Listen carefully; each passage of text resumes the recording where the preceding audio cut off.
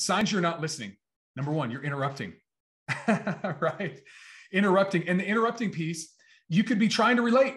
You could be interrupting because you go, oh my gosh, I went to that school. Or, oh my gosh, my cousin went to that school. And you're just really excited, but you're now dominating. You're dominating the situation and it can feel like you're not listening or you're not, you don't care about what they have to say.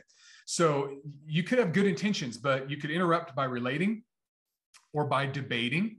Uh, I, I, don't. I don't know if I agree with that. Actually, with that understanding or that perception, and you cut them off, and you don't even let them finish their their full point.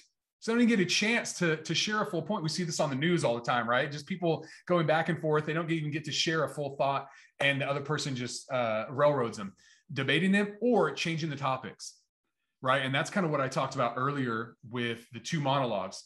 And you know, they're talking about something, you're like, yeah, well, blah, blah, blah, blah, blah. And you just bring up a totally different thing. That shows them that you are not listening to them.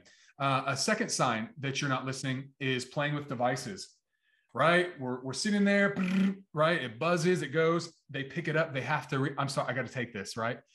That does not make you feel like any like a person's listening to you like they're they're interested in what you're saying uh, and then the third one guilty guilty of this one right?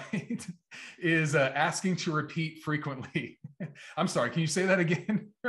They know that you were not listening to them if uh, if you if you do those three things. So we must be intent on active listening